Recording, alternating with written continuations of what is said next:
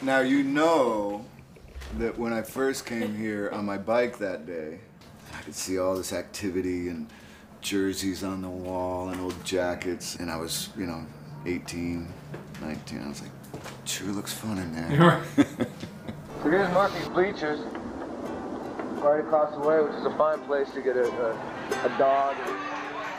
It's kind of fitting, I think, that you and I are sitting in this room because there were many a night after Cub games when I got off work. And then we came in here and we had some fun nights. That, that last October was one of the most fun months of my life. I can't imagine what that month was like for you.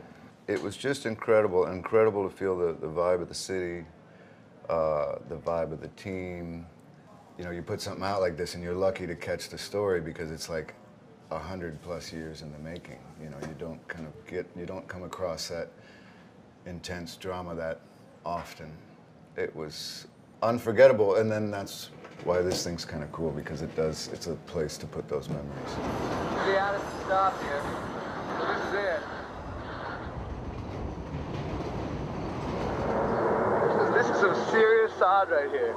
I'm bringing some home. I'm gonna I'm gonna plant it in Seattle. We're gonna have we're gonna have Wrigley Field sod. You know, you were you've gone from the kid fan to the adult successful person who gets on the inside and wants more. You know, you could have gotten in there and been like, I want to hang out with these guys, or eh, but they're really they're really interesting people inside that building back there. Look, I feel like the freaking Charlie Bucket, Willy Wonka, luckiest guy in the world for for knowing these guys. You know, I've known Theo for 15 years. It's just such a good energy that they've really cultivated. And there were many, many times when that never existed. You know, there's I think there's a reason why. You know, it's it's not happenstance and it wasn't just magic. And maybe because of the adversity In the years that they'd have to that they Yearning. all suffered from the '69 Cubs to the '84 to Ryan Dempster's Cubs. So when Kerry when, Woods Cubs. when know, that- Rizzo squeezed that ball at first base in Cleveland last year, basically that was a win for Jody Davis and Billy Kerry Williams Wood and Mark Prior and Randy Hundley and absolutely. Cubs win the World Series. Brian So you have everything kind of culminating with an August shows at Wrigley Field. You're a lifelong Cub fan. They end up winning in October, first time since 1908, and you have this behind the scenes access. How beautiful is that? It's a it's a pretty good home movie.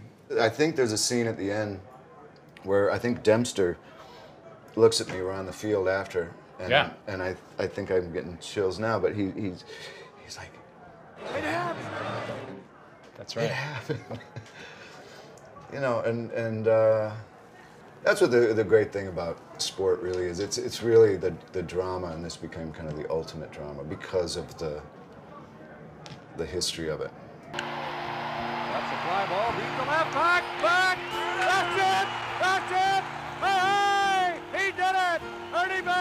Banks number 500. Ernie Banks asked me to write a song for the Cubs and for Wrigley Field and all this kind of stuff. And I was, you know, he's asking me, and I'm looking into the eyes of Ernie Banks, and it's like looking into the eyes of, of Wrigley Field. Ernie said, oh, let's play two.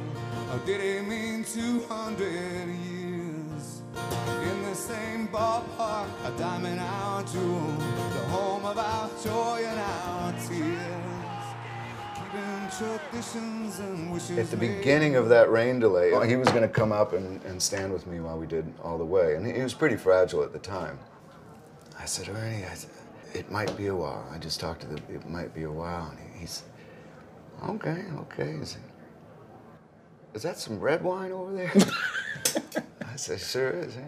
I'd, I'd, I'd take a glass of that. And then it turned out to be a couple hours sitting with Ernie Banks and him talking to my daughters and, and talking about the old mitt I had. I had brought my first mitt, you know, and now this is a good glove.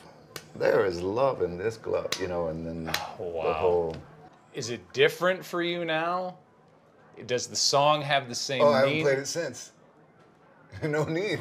Someday we'll go all the way. Yeah, someday we'll go all the way. You don't have to be a diehard Pearl Jam fan to enjoy this documentary, and you don't have to be a diehard baseball fan to enjoy this documentary.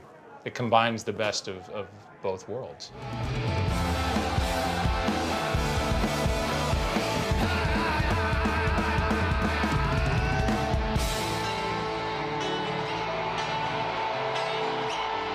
What's it like to play at Wrigley Field? There's an energy. There's an energy all around this. It's like thing. humming. And then if you're in the middle of that, that's what really made baseball seem magic to me. You know, is, is this place and this neighborhood and this community. And years later, to kind of be uh, invited to experience it personal and inside level, it, it's just a, been a huge gift. I don't think there's Unless you call us off. The only thing, you know, Evolution last exit, Lightning Bolt, we kind of keep those Yep. tight. Hey, am I counting you off on Hell Exit? Please, if you would. Sometimes it feels weird because I'm like, I can tell that it's not where you're kicking out. You wrote the damn thing.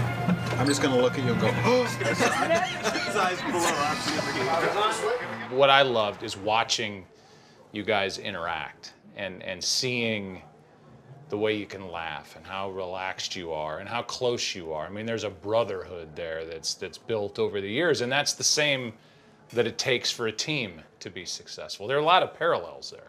I think you're right. There, there is a lot of teamwork documented in this film, and and uh, it's individuals coming together for a greater purpose. There was some sort of impromptu secret Pearl Jam show yesterday on top of a roof at a local bar in Wrigley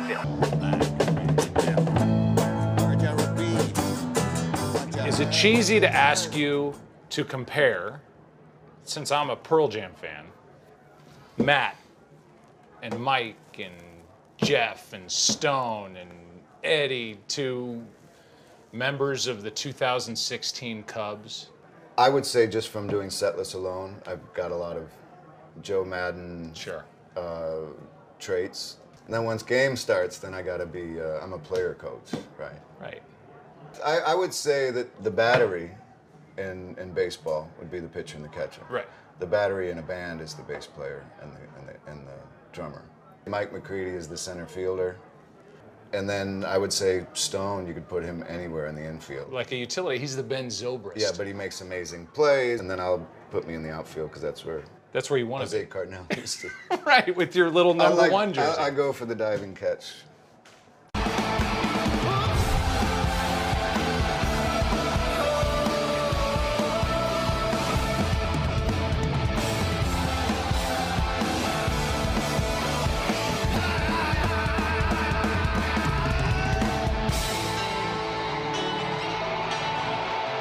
First time you walk into Wrigley Field, it's like stepping into Oz.